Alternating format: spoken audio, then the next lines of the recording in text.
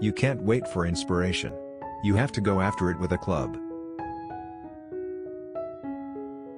The proper function of man is to live, not to exist. I shall not waste my days in trying to prolong them. I shall use my time.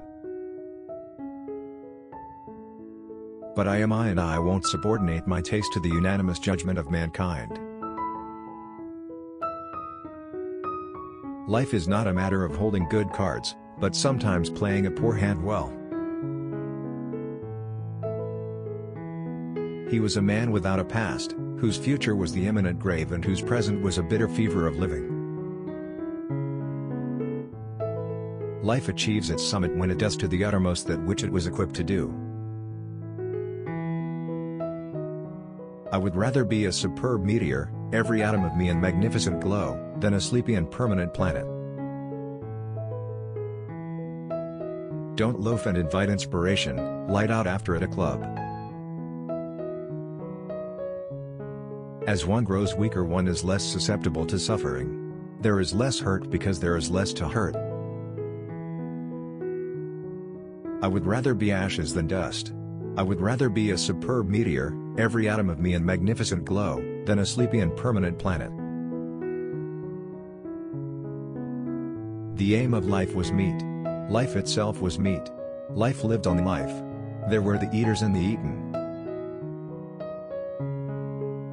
One cannot violate the promptings of one's nature without having that nature recoil upon itself. His conclusion was that things were not always what they appeared to be. Thenceforth, in the nature of things, he would possess an abiding distrust of appearances. I'd rather sing one wild song and burst my heart with it, than live a thousand years watching my digestion and being afraid of the wet. A bone to the dog is not charity. Charity is the bone shared with the dog, when you are just as hungry as the dog. Intelligent men are cruel.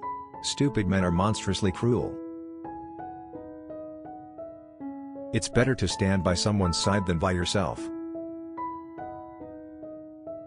As one grows weaker one is less susceptible to suffering. There is less hurt because there is less to hurt. He was a killer, a thing that preyed, living on the things that lived, unaided, alone, by virtue of his own strength and prowess surviving triumphantly in a hostile environment where only the strong survive. Fear urged him to go back, but growth drove him on. Man rarely places a proper valuation upon his womankind, at least not until deprived of them. They were not half-living, or quarter-living. They were simply so many bags of bones in which sparks of life fluttered faintly. Every book was a peephole into the realm of knowledge. His hunger fed upon what he read, and increased. Limited minds can recognize limitations only in others. The more he studied, the more vistas he caught of fields of knowledge yet unexplored, and the regret that days were only 24 hours long became a chronic complaint with him. The wild still lingered in him and the wolf in him merely slept. Darn the wheel of the world. Why must it continually turn over? Where's the reverse gear? San Francisco is gone. Nothing remains of it but memories. And how have I lived? Frankly and openly, though crudely. I have not been afraid of life. I have not shrunk from it. I have taken it for what it was at its own valuation. And I have not been ashamed of it. Just as it was, it was mine. The most beautiful stories always start with wreckage.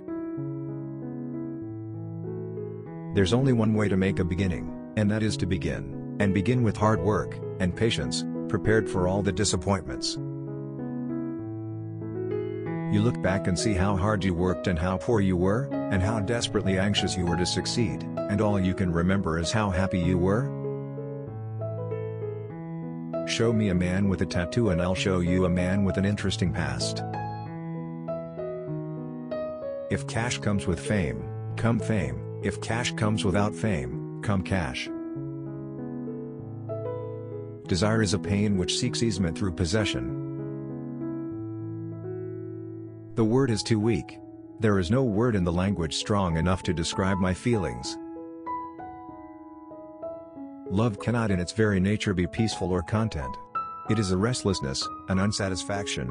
I can grant a lasting love just as I can grant a lasting unsatisfaction, but the lasting love cannot be coupled with possession, for love is pain and desire and possession is easement and fulfillment.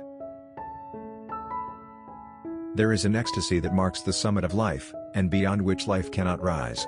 And such is the paradox of living, this ecstasy comes when one is most alive, and it comes as a complete forgetfulness that one is alive.